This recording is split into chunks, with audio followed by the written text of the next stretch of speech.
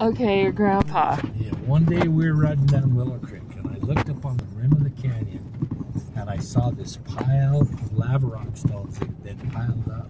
Uh huh. And it made like a little monument up on the canyon rim. And I said, Grandpa, what's that? And he looked at me and he said, That's the tombstone for Shoot 'em Up Jake. And I said, The tombstone for Shoot 'em Up Jake? And he said, Yes, sir. Uh huh. And I said, Well, what happened? And he said, Well, there was two guys up here in the early days. There was Alibi Ike and Shoot 'em Up Jake. Uh huh. And Alibi Ike was a sheep man, and Shoot 'em Up Jake was a cowman. Uh huh. And they hated each other because one ran sheep and one ran cow. And they didn't like each other. And they were always messing with each other, getting their cows or their sheep over on the other guy's place. And one day, shoot 'em up, Jake says, I've had it.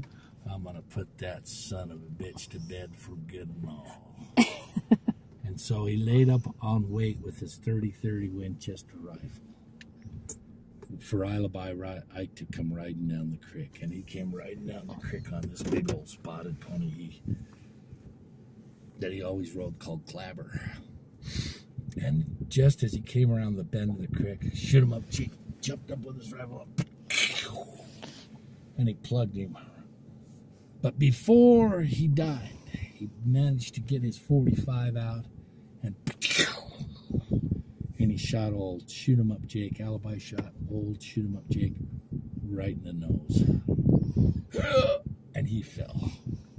And then Alibi fell off his horse and into a big deep beaver pond where he sank to the bottom. And then they came up, the deputy sheriff came up and said, Oh, and there was shoot 'em up Jake laying up on the canyon rim dead. So they buried him right there and piled those rocks up over him. And then alibi, they never found him because he's in the bottom of the jingle or the bottom of the. When when was this, Bruce? This was in 18, ni- in 18 and 87. And so your grandpa oh, so a year told. before you were born. Would you please get out? of my face?